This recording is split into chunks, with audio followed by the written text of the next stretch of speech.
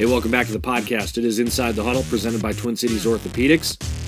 Winter sports season is in full force. We've got a great show for you here tonight. Uh, head coach of the Maple Grove Crimson Girls basketball program, Mark Cook, going to join us a little bit later on on the heels of celebrating his 200th career victory. Uh, the Crimson uh, with a victory, you know, in their opening night uh, game against Minnetonka, and uh, we'll chat about that in just a little bit. Uh, and we get to the scoreboard now, starting on the ice of boys hockey. The Crimsons uh, pick up a couple of wins this week: a six to one win over Totino Grace, and then a, a great win, three to two over Champlin Park. The Crimson now sit at two one and one after a great performance uh, in the Turkey Trot Classic, where they defeated Wayzata in overtime or a shootout. Actually, it would have been a tie, but they advanced in the tournament, and then they lost to top-ranked Edina in the championship game of the Turkey Trot tournament. They follow that up this week with a pair of wins and a good start for uh, for Berge and the boys as uh, the Crimson are two one and one on the season this week. They will uh, travel to Armstrong Cooper Thursday, and then they host Anoka on Saturday afternoon at three o'clock.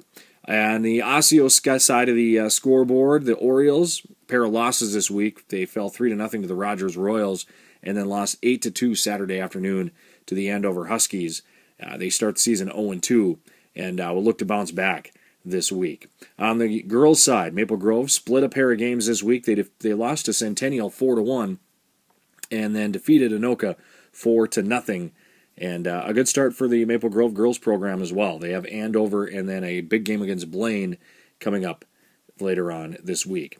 Osseo Park Center, following their first win in like two years as a program, uh, it fell in overtime to Totino Grace four to three. But the Stars playing much better hockey uh, with brand new head coach, and they're getting things done. Pick up their first win, follow that up with a tie in overtime, or not not tie in overtime, but a loss in overtime, and uh, good things on the horizon for the Stars. Girls basketball, the Orioles of Osseo dropped a couple of games this past week. First game opened, uh, they opened the season at Roseville, fell 46 27 and then they lost their home opener to the Rogers Royals 44 to 23. So the offense struggling a little bit for the Orioles. They'll get it on track, but they are playing pretty well defensively. That'll be the key as the uh, season goes on. They will face Chanhassen later on this week, and then Shakopee as well on the docket for the Orioles this week. Maple Grove they split a pair of games as well. There, as we mentioned in the Open, Mark Cook picked up his 200th career victory in the season opener against Minnetonka. The Skippers were ranked number two or number four, depending on which poll you you know decide to follow.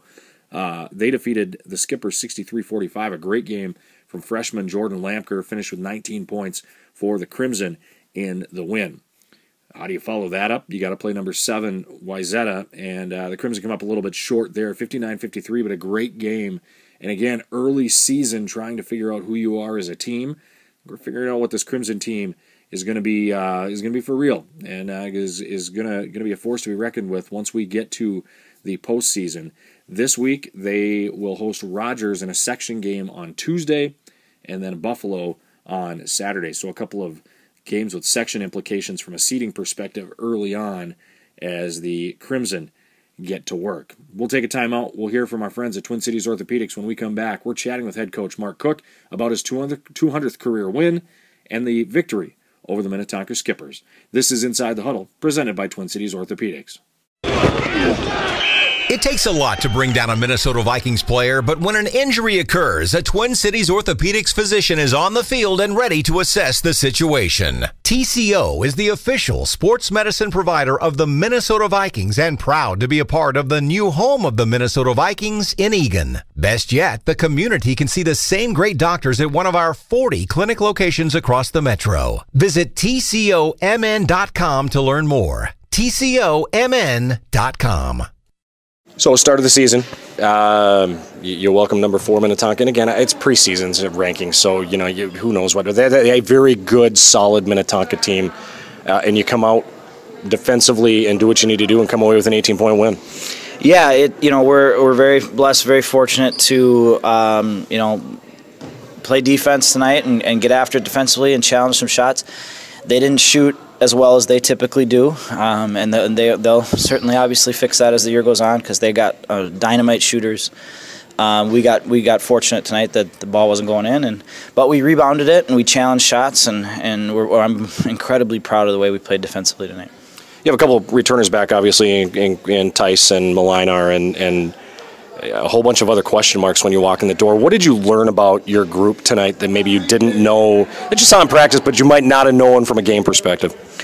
Uh, their ability to handle adversity, I think, was the thing that jumped out the most. Um, you know, we got into foul trouble. Kids handled it. Bench kids stepped up, handled it. We, you know, they went on a run to start the second half. Our kids dug in, handled it. Uh, we we turned the ball over a couple times late. We didn't rat, get rattled. We didn't let it, you know, one turnover turn into two to turn into three.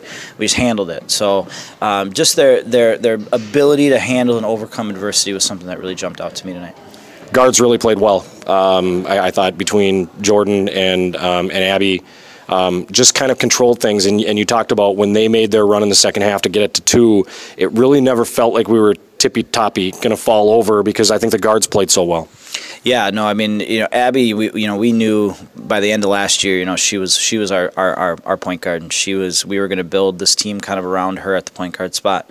Um, you know, the the young kid Jordan uh, Lampkirch, she you know the ninth grader, she, you know, we knew we've seen her all summer. We knew that she was a special player, um, and she obviously showed that tonight with her. I was just really impressed with with her composure. Both those kids, that's a freshman and a sophomore, running the show, and their composure, their ability to make free throws down the stretch that mattered, that counted, um, were were huge, um, and and just our, our, I think our guards are tough.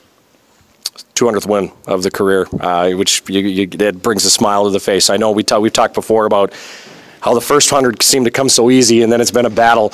Um, I, I, know it's not about personal milestones, but it's got to feel pretty good to pick, that, pick that one up tonight. Yeah, you know, I, I tell everybody it's an award of longevity. I, you know, you eventually are going to get it if you hang around long enough. But, um, you know, again, I've been super blessed and fortunate with um, a, a, coaching staff that just works their tail off. I am surrounded by incredible coaches, and, and yeah, this will you know the, the, the little number goes next to my name, but but it can't happen with all those uh, unbelievable coaches that are around me. It can't happen without unbelievable kids coming up through this program, buying into what we're trying to do, and it certainly can't happen without an incredibly supportive and beautiful wife at home that allows me to do this job that I love so much. So it, it, it really is an accomplishment of many, not not certainly an individual accomplishment. And uh, and as I said in the locker room after the game game, I'll trade all of them for some hardware this year. So, uh, you know, let's focus on, on, on that stuff and, and focus on team and, and, and accomplishments that we can we can get together um, to, to be a really, really special team and make this a really special season. Going to do it for the podcast. Thanks for taking some time to listen. And uh, we will catch up with you next week. want to thank our sponsors, Twin Cities Orthopedics, for making our show possible every week here on Inside.